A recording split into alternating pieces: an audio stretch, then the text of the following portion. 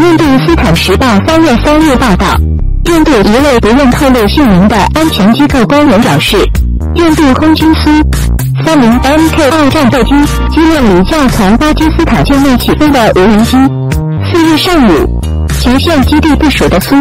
三零 Mk2 战机相继起飞，以面对来自巴基斯坦的威胁。不愿透露姓名的安全机构官员说，印度空军装备的苏。三零 Mk2 战斗机，印度斯坦时报指出，被击落的无人机侵犯了印度领空，